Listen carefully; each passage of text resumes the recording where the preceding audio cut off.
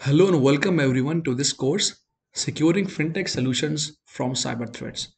The reason why we have chosen this course is because as FinTech is making rounds over the internet and making leapfrogs in the digital transformation realm, the cyber attacks are also catching up. And you don't want to build a FinTech unicorn and end up closing it down or sharing a good part of your revenue due to a GDPR compliance issue or cyber attacks. And as time your FinTech product goes online, the associated cyber risk also get broadcasted. And this is exactly why you're here, to not let the bad guys eat your lunch. And the good news is that even if you're a beginner, the attacker will think a lot to approach your product. So let's talk about that what topics that we'll be going to cover. Firstly, we'll be going to cover the applied fintech with gaps and challenges. In this topic, we'll teach you what and why of fintech the fintech ecosystem overview, and how fintech is changing traditional finance. We'll be also touching on the role of technology, that how blockchain, AI, 5G, cloud computing is impacting the fintech system. Also, we'll be uncovering some security gaps in the use cases with architecture review. In the second chapter, we will discuss building fintech security architecture.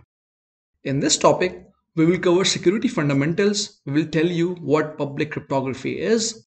We will cover fintech architecture vulnerabilities with attack vectors. We will go through data flow with threat modeling techniques, covering fintech security domains. And also in the end, we will teach you how you can design the fintech architecture for mitigating risk. In the third chapter, we will cover how to deploy fintech applications securely. So we'll be going through fintech development lifecycle. We'll be covering security checkpoints and coding, fintech security solutions, and what are the risk management framework such as DevSecOps and what NIST has to say about this. And also we'll be covering fintech incident management in chapter 3. In chapter 4, we'll be covering fintech legal ecosystem. We'll tell you what fintech legal guidelines are related to GDPR, PCI DSS, and also covering ISO controls as well. Then we'll be covering fintech compliance checks for KYC and AML, RegTech focus areas for fintech, and then in the end, we will teach you how you can approach a fintech sandbox solution.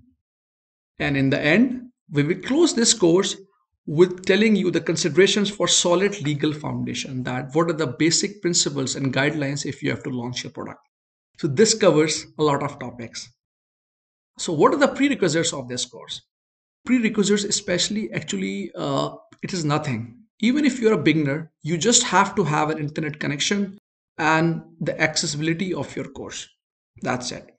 From technology enthusiast, regulatory personnel, security professionals, or the blockchain gurus, this course is absolutely for everyone. Even if you're a finance fresh graduate, you know, you will love this course.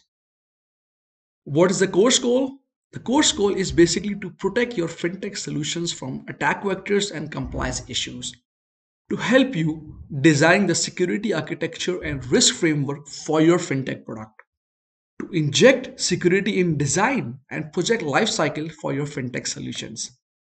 And in the end, we will help you in building the security mindset and to start considering security as job zero. This is all the course goals that we have for you. So here we go.